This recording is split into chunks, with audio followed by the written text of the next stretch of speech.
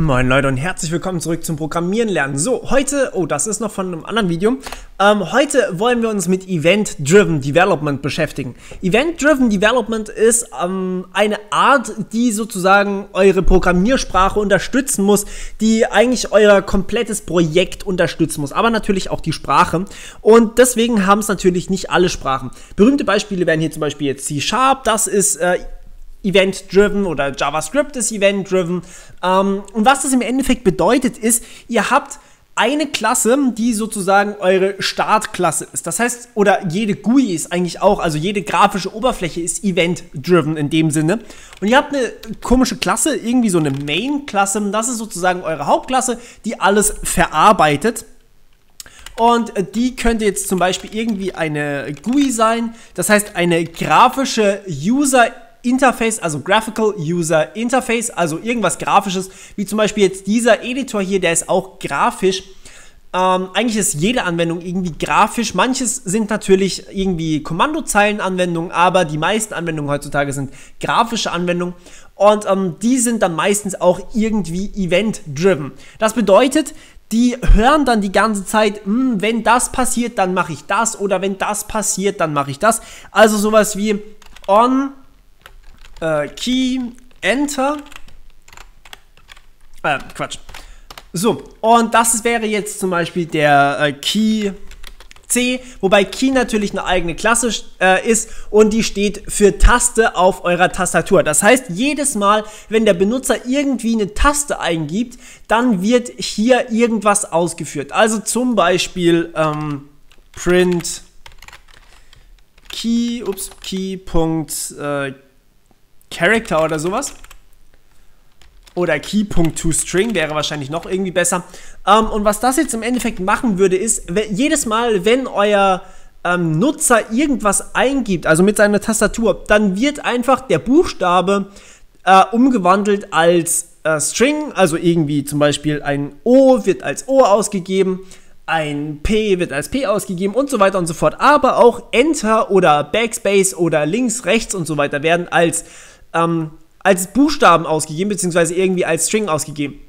Im Endeffekt, was hier event-driven daran ist, ist, dass ihr jedes Mal eine Methode ausführt, sobald ihr einen Buchstaben oder irgendwas auf eure Tastatur drückt. Das kann natürlich auch noch irgendwas anderes sein. Also man kann irgendwelche System Interrupts haben oder ähm, man kann irgendwelche Mausklicks haben und diese ganzen Dinger natürlich. Ähm, und was das hier im Endeffekt macht, ist wirklich jedes Mal, wenn was eingegeben wird, wird diese Methode aufgerufen und je nachdem, was eingegeben wurde, also ihr bekommt hier natürlich, welcher, ähm, welche Taste gedrückt wurde, bekommt ihr hier eine andere Methode, also im Endeffekt hier habt ihr schon immer dieselbe Methode, aber ihr könnt natürlich irgendwie einen Switch Case machen über key.toString. Das heißt, wenn key.toString äh, C ist, dann macht ihr ja, Bücken in einem Computerspiel jetzt zum Beispiel oder wenn es W ist, dann lauft ihr vorwärts, wenn es A ist, dann dreht ihr euch oder wenn es D ist, dann dreht ihr euch eben auch.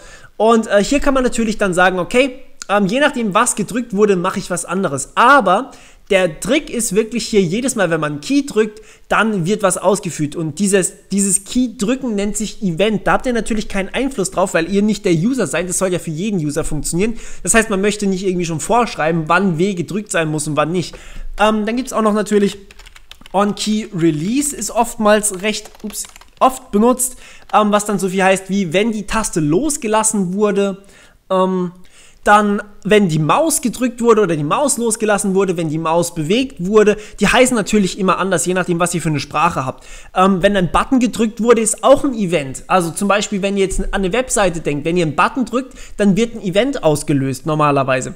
Oder wenn ähm, ja, und jetzt ganz kurz noch zu, ähm, zu Interrupts. Interrupts kommen tatsächlich vom System und die lassen sich dann auch als eben solche Events klassifizieren. Das bedeutet, ihr habt jetzt schon ein paar äh, Events sozusagen kennengelernt. Ein Interrupt wäre jetzt zum Beispiel, wenn wir an Actors und Message Passing denken, dann wäre ein Event, dass eine Nachricht reinkommt. Also da kann man sich wirklich natürlich auch seine eigenen Events definieren. Man muss natürlich einfach nur die ganze Zeit, also dieses On-Key-Enter ist sozusagen ein Listener, der die ganze Zeit drauf hört, was jetzt in der Tastatur eingegeben wurde. Das ist im Endeffekt eine While-True-Schleife, ähm, die hier die ganze Zeit durchläuft und immer überprüft, wurde jetzt was eingegeben, wurde was eingegeben, wurde was eingegeben, wurde was eingegeben. Die ganze Zeit.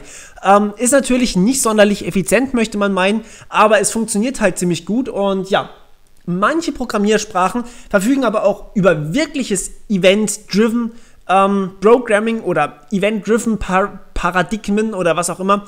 Ähm, und dann wird auch tatsächlich nicht die ganze Zeit hier irgendwas abgelesen, sondern die greifen auf euer Betriebssystem zu und können dort dann wirklich über die Hardware-Treiber auf eure Tastatur zugreifen und sich registrieren, dass sie benachrichtigt werden möchten, wenn was gedrückt wird. Das heißt, hier sind manche Programmiersprachen einfach wirklich besser geeignet als andere.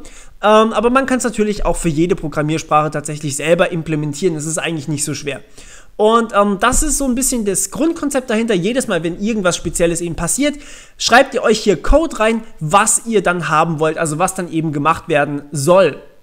Hat nicht mehr so viel mit, dem, mit den Events aus dem letzten Video zu tun, aber wenn man sich natürlich die Signale anguckt, die von anderen Prozessen oder von anderen Threads kommen können, dann sind das auch so eine Art zumindest Events, also zum Beispiel ein Interrupt und halt stopp, jetzt möchte ich nicht mehr weiterarbeiten oder ein Kill Interrupt oder sowas oder ein Join Ah gut, okay, Join ist jetzt kein Interrupt in dem Sinne, aber ähm, es gibt verschiedene, eben zum Beispiel dieses Wait ist auch ein Interrupt, das kann man natürlich hier auch behandeln. Okay, das wirklich nur so als kleine Einführung, wie gesagt, das ist dann wirklich auch sprachenspezifisch, wie das funktioniert, aber es lässt sich auch ganz gut selber schreiben, man muss nur eben so eine Event-Driven Architecture äh, muss man sich selber dann auch programmieren, was wir vielleicht in einer anderen Playlist noch machen werden und da könnt ihr euch dann gerne mal umgucken. Okay, ähm, gut, das war's dann von meiner Seite schon wieder. Wir hören uns beim nächsten Mal. Bis dann, ciao.